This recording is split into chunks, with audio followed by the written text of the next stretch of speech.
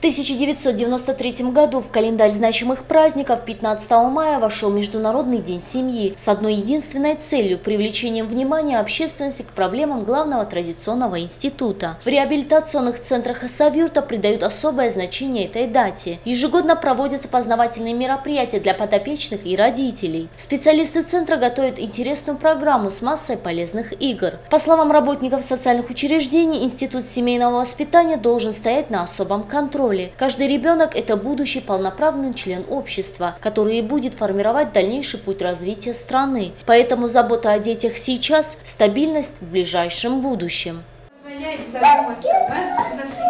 Нашей жизни и проявить внимание к близким людям. Семья – основ из основ, и каждый из нас значимый участник. Семья как основной элемент общества остается хранительницей человеческих ценностей и культур. Не передается мудрость одного поколения к другому. Особое место в жизни общества занимают в частности дети с ограниченными возможностями, которым необходим индивидуальный подход, особая атмосфера тепла и заботы. Дети с большим удовольствием приняли участие в различных творческих конкурсах и соревнованиях.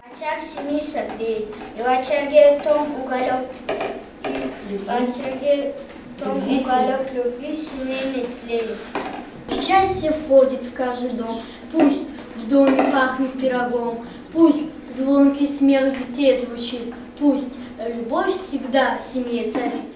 Мама – это главный человек в жизни каждого ребенка, который помогает адаптироваться, придает уверенность в любых начинаниях, своей поддержкой, путем наставлений и всячески помогает ребенку достичь определенных целей. По словам одной из мам подопечной реабилитационного центра для детей с ограниченными возможностями, мероприятие на различную тематику помогает во всестороннем развитии. Ребенок проявляет активность и становится более самостоятельным. Ну, это очень полезно для ребенка. Она я тоже очень отношусь благоприятно, конечно. Я даже рада везде, где есть, везде пытаюсь ее отвести. Она сама как-то тянется везде, где что увидит.